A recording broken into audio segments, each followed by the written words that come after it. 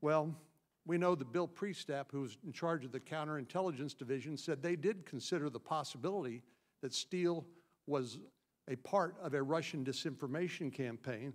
But then, thanks to the diligence of uh, uh, Senator Grassley and Senator Johnson and the Director of National Intelligence, we now have a copy of the less redacted footnote 350 to the Inspector General report, which points out, if you can see it, that not only did uh, Steele have regular interaction with Russian oligarchs, but that the, there was a potential information potential for Russian disinformation influencing Steele's election reporting.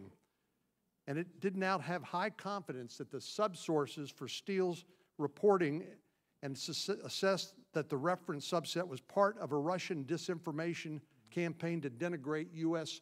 foreign relations. So, Mr. Rosenstein, it strikes me that Mr. Putin must be extraordinarily pleased with how this all played itself out.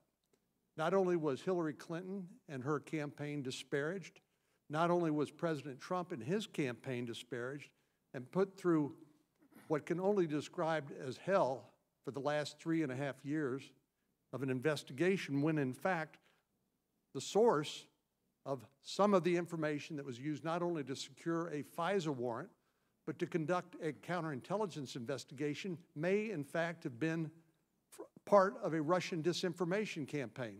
Does that concern you? It concerns me very much, Senator, I'm at a bit of a disadvantage. As you know, I was in the job for only two years. I've been gone now for about 13 months. So I don't have access to any information that's been generated through the Durham investigation. I do not know uh, what Attorney General Barr has discovered with regard to that. But I think it's important, Senators, for us to keep in mind that uh, it, it, is, it is established, I believe, that uh, Russia's efforts included disparaging Hillary Clinton, as you said. Um, that, that doesn't mean Russia is on the other candidate's side. Russia is on Russia's side.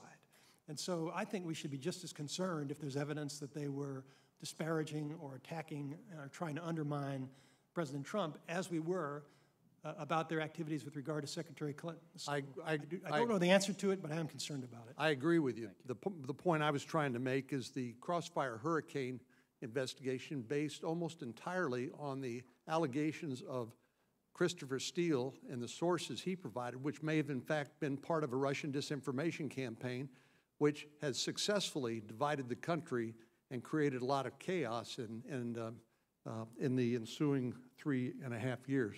Thank you, Mr. Chairman. Senator Chairman, if I could just follow up on that, Senator, whether it's Russian disinformation or, or other disinformation, uh, I think the FBI needs to figure out yeah. where did it come from, why was it submitted, uh, and were any crimes committed? I think that's an appropriate area of investigation. I just don't know what the evidence reflects. Thank you. Senator Durbin.